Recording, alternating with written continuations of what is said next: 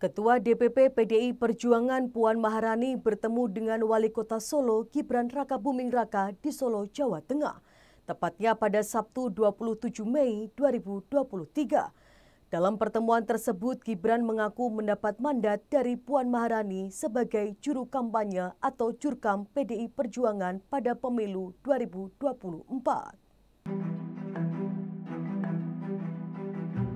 Hal tersebut disampaikan Puan saat makan malam bersama di sumber bestik Pak Darmo di Jalan Honggo Wongso Solo. Adapun selain mandat tersebut, mereka juga berbicara banyak hal. Selama makan malam, Gibran mengakui ada banyak hal yang dibicarakan dengan Ketua DPR RI dari fraksi PDIP tersebut. Salah satunya terkait klarifikasi Gibran soal pertemuannya dengan Prabowo Subianto beberapa waktu lalu di Solo. Bahkan Gibran menyebut bahwa ia mendapat pesan khusus dari Ketum PDIP Megawati Soekarno Putri yang disampaikan Puan.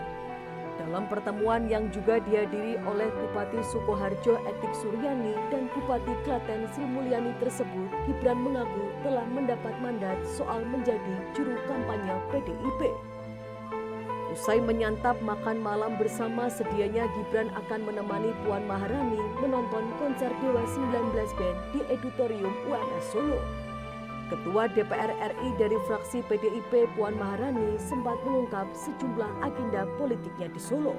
Usai kunjungan di Mall Solo Paragon, Puan Maharani menyebut dirinya ada sejumlah agenda politik, salah satunya bertemu dengan Wali Kota Solo Gibran Rakabuming Raka. Selain itu juga ikut menemani Puan Maharani yakni Bupati Sukoharjo Etik Suryani dan Bupati Klaten Sri Mulyani. Puan juga mengungkapkan bahwa ia akan melakukan konsolidasi dengan sejumlah kader PDIP termasuk yang menjabat sebagai kepala daerah.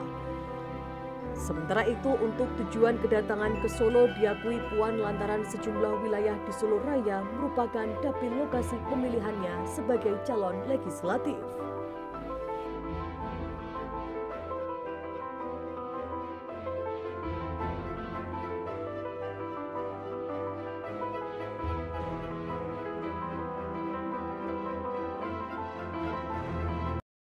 Ikuti update terbaru dari sosial media Tribun Jateng.